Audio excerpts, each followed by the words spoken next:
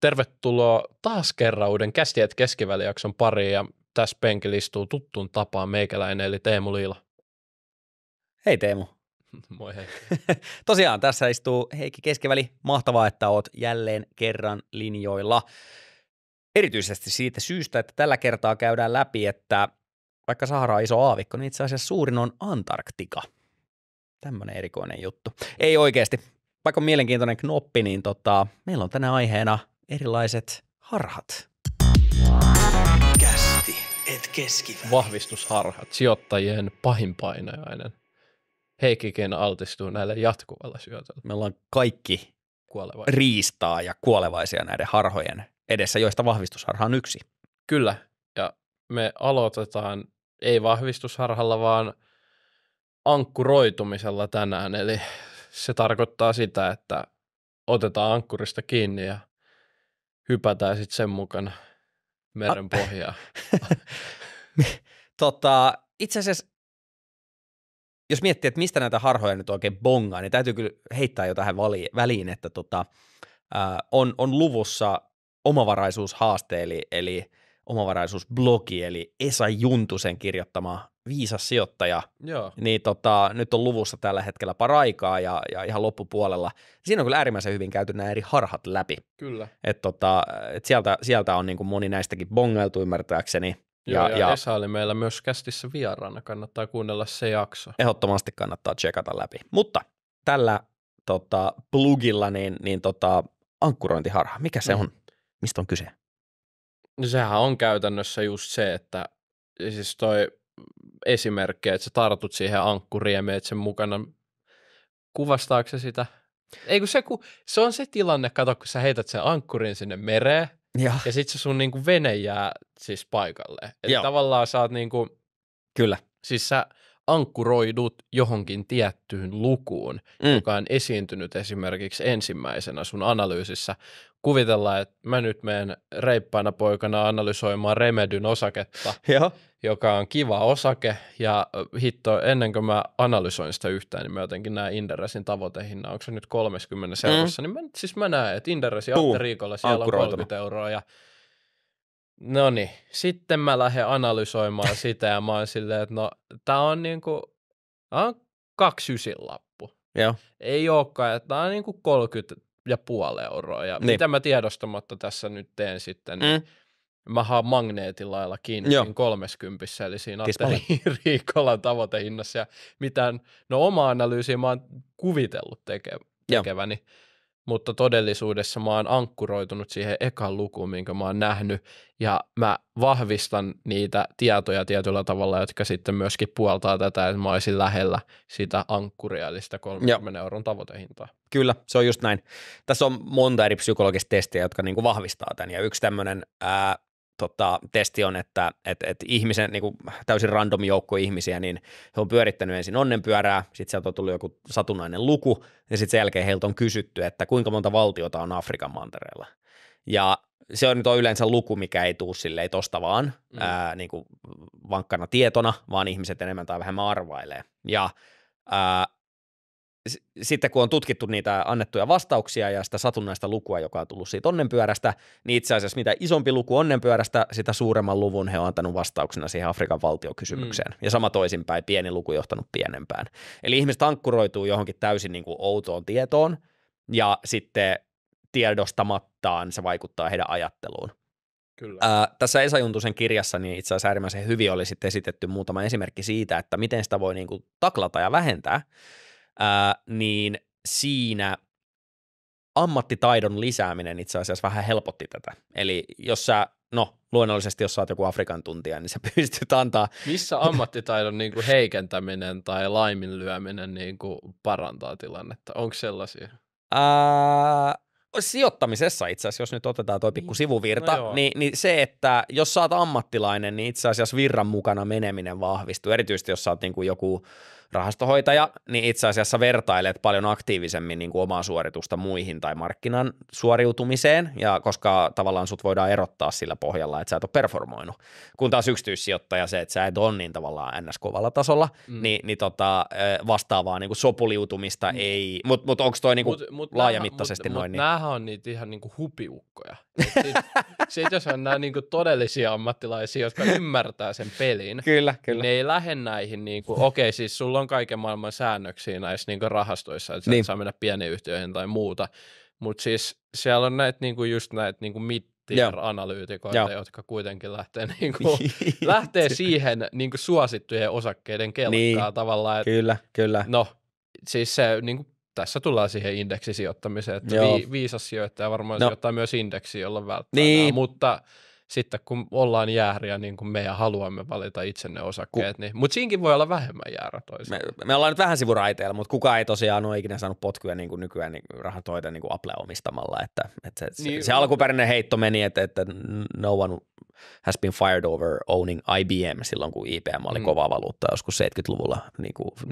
50-50 aikoina. huono sijoitus olisi siinä hetkessä. Niin, niin mutta kun kaikki tekee niin, niin sä et ole tavallaan poikkea riittävästi. Mutta jos palataan ankkuriharhaan, niin, niin toi on itse asiassa nimenomaan se syy, minkä takia äh, itse ja sitten on ollut ilo kuulla, että moni muukin tämmöinen niin kuin, äh, niin kuin sijoittajan legenda toimii samalla tavalla, että et, et jos vaikka tutustuu uuteen yhtiöön, niin välttää ihan viimeiseen asti näkemästä sitä joko markkina-arvoa tai sit osakkeen hintaa. Mm. Sen takia, koska vaikka sä et haluaisi, niin sä kuitenkin otat siitä sen niin kuin infon sisään ja sitten se vaikuttaa siihen sun päätöksentekoon, kun sä alat niin kuin ns. puhtaalta pöydältä muodostaa sitä arvonmääritystä, niin sit sä auttamattakin sä alat vaikuttaa siihen sen takia. Niin sen takia saman tien syrjään osakkehinnat, suositukset, tavoitehinnat, you name it, ja miettii ihan puhtaalta pöydältä, että okei, mikä se arvo on. Mm.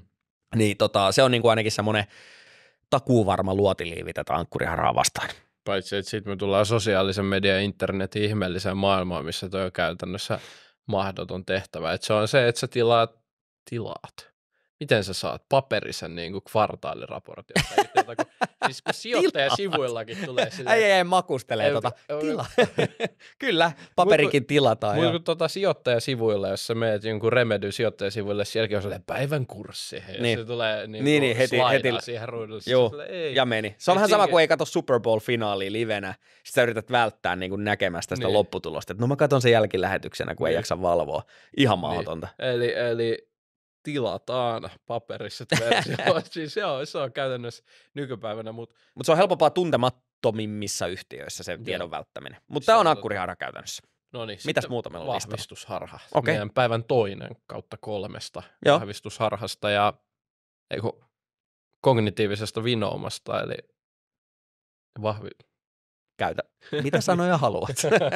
Ei, siis Kunhan ne käy järkeen. Toinen vinoutuma meillä on vahvistusharha.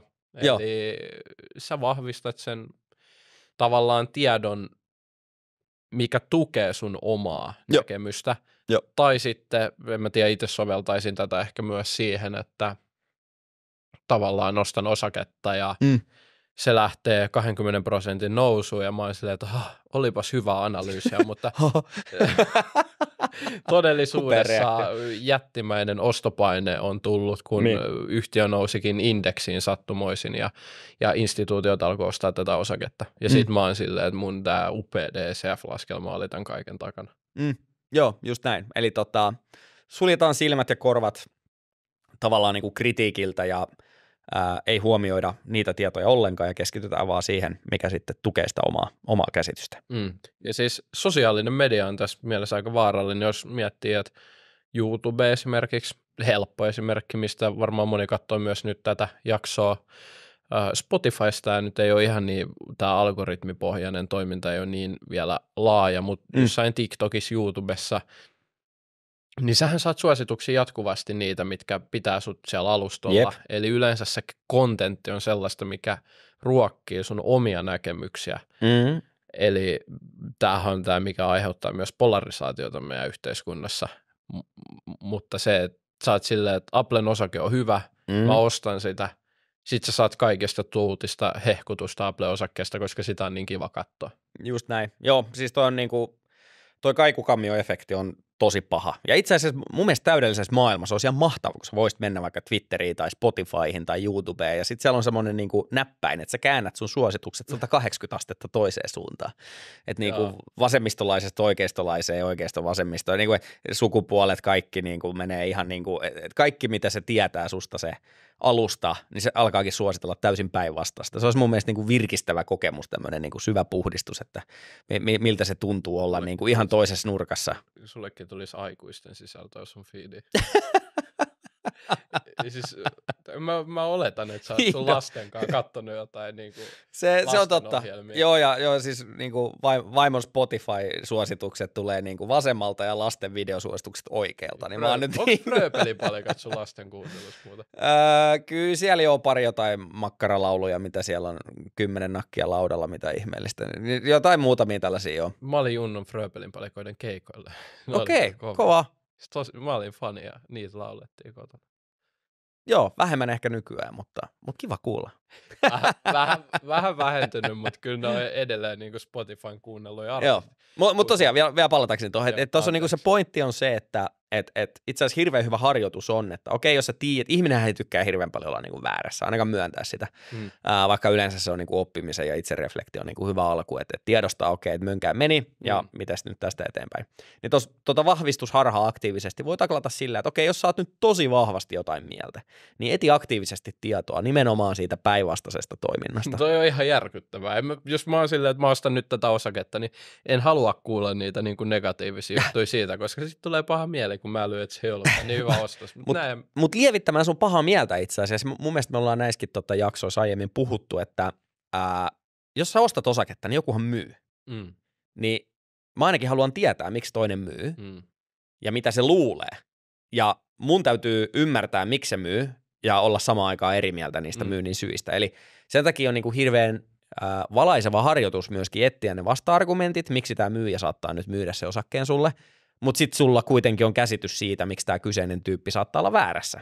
Kyllä. Koska jos et sä tiedosta sitä, niin sitten on hyvin vaikea, niin kuin, sanotaanko näin, että no, sitten on aika herkästi varmasti päätynyt siihen kierteeseen kaninkoloon, missä vaan kaikki faktat tukee sitä sun päätöstä ja sä et ole, kuka ei ole ikinä haastanut sun näkemystä tai sä et ole antaa sen haastetun, niin, niin sitten se johtaa vaan siihen, että niin kuin vedetään ihan, ihan niin kuin suossa ja sumussa ää, niin, niin siihen osakkeeseen kiinni, niin se, se ei ole ehkä se paras lähtökohta.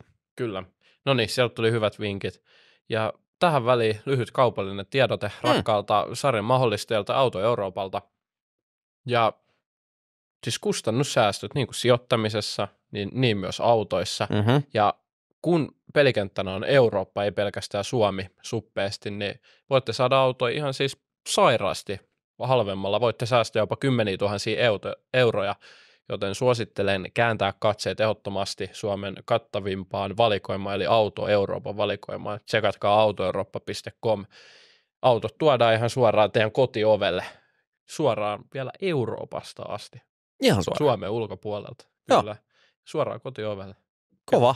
Mutta nyt vielä takaisin jaksoon, ja mm. viimeinen, eli kolmas on meillä tällainen kuin Teesi Hiipimä, ja taas täytyy antaa shoutoutti Esa Juntuselle, joka on kääntänyt tämän termin meille valmiiksi. No niin, näin sitä suomen kieleen vaan tulee Teesis uusia sanoja. Creep vai mikä se oli? Joo, tämmöinen se taisi olla. Joo.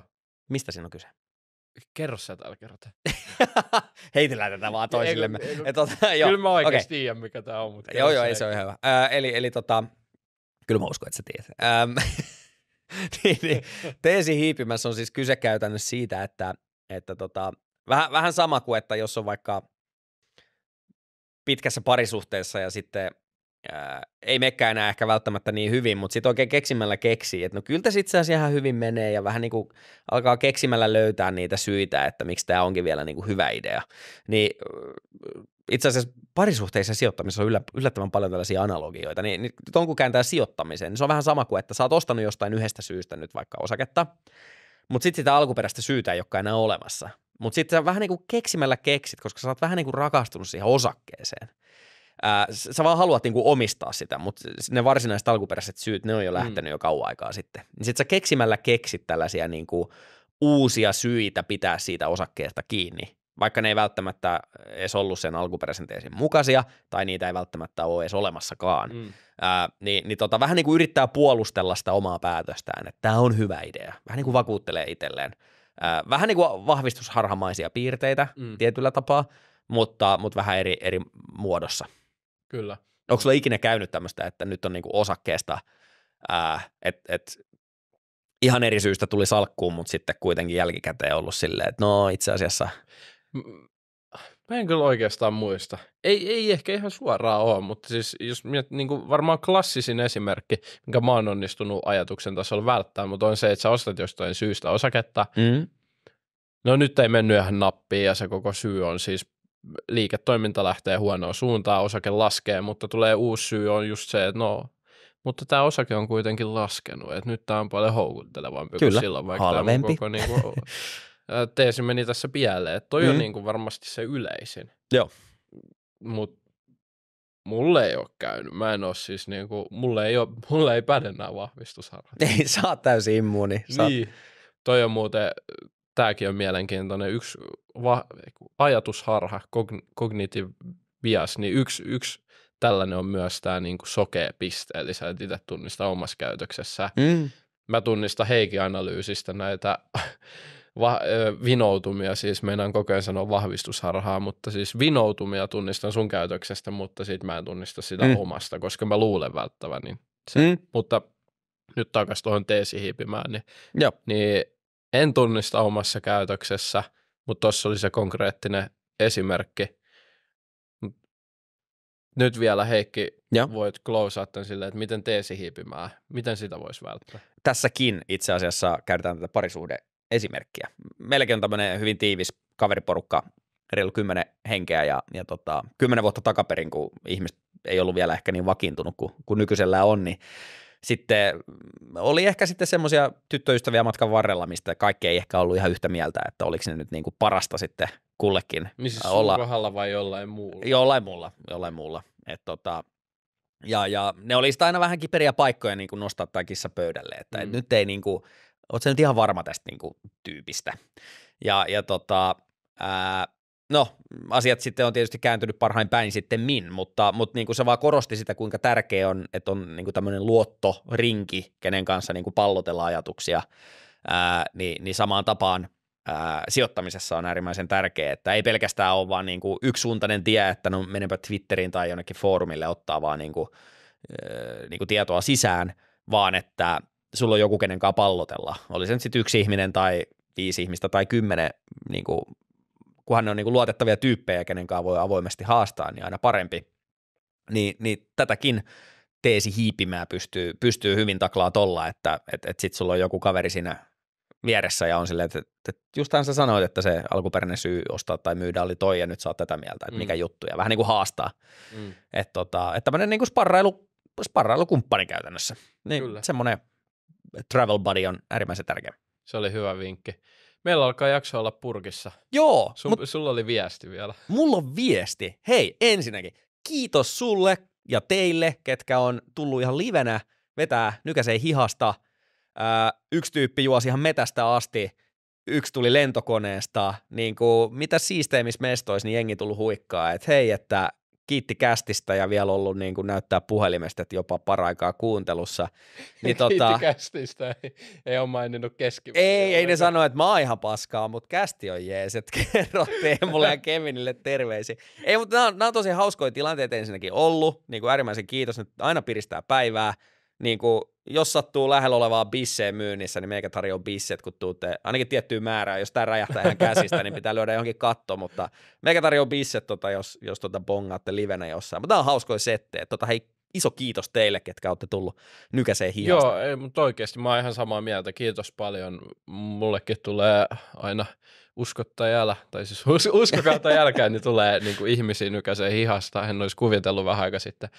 Mutta mäkin otan tämän haasteen. Niin ensimmäinen, joka tulee nykäiseen hihasta ja kysyy vartavasti, sanoo, että on nähnyt tämän jakson ja kysyy sitä tota, bissejä tai mikä ikinä onkaan lonkero, Okei, niin niin just. mä tarjoan. Katsotaan niin kuin kauan kestää, että tehdään tästä kun on kilpailu. Ki- Kisa. Ei mennä. Eikö se kerro enemmän siitä, että kumpi käy enemmän keitolla sitten? Niin, totta, totta, Et joo. Jos mä en olisi käynyt missään ja sä saat heti jo, niin Se on vaan niinku... Näköjään mun tarvii mennä vaan metsään. niin- se, oli, kyllä- se oli oikeasti todella, todella yllättävä ja hauska samaan aikaan. Joo, en mä- olisi uskonut. Joo.